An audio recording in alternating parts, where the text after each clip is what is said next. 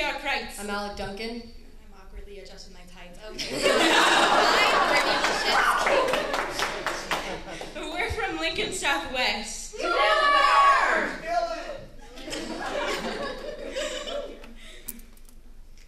The anatomy of our generation. Born from 1980 to 1999. The oldest of us missed Reagan's inauguration, And the youngest of us can't remember Y2K.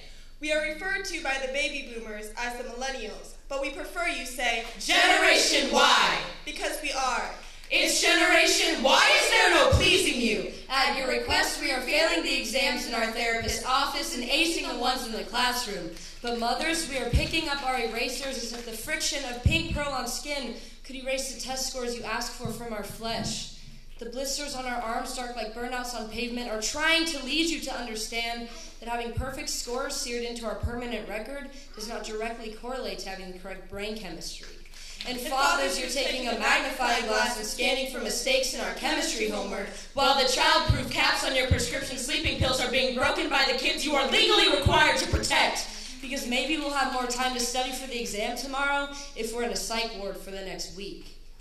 Overdosing on prazosin is more appealing than Then waking up the next morning to memorize molecular equations on the drive to school. And you wonder why we love our snow days. It's Generation Why are we still sexualizing girls? My shoulders are not a distraction. My legs are not inappropriate. And my collarbone is not sexual unless I say so. These are body parts that make up a whole person. And while I understand that a woman in a t shirt and jeans is a sensual thing, how I dress does not mean yes. And catcalling me while I'm walking down the street is, believe it or not, unattractive. It's Generation Why is justice become a dream concept? We are still being denied basic health care, job security, and housing because we're poor. We're Hispanic. We're transgender. We're gay. We are a generation in which a rights movement will no longer be stifled.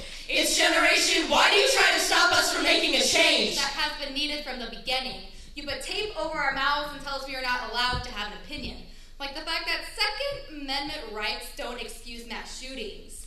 Well, we pretend that the real terrorists are the ones outside our borders. To balancing the dichotomy of the way police officers are portrayed by the media, there are some who are there to protect us,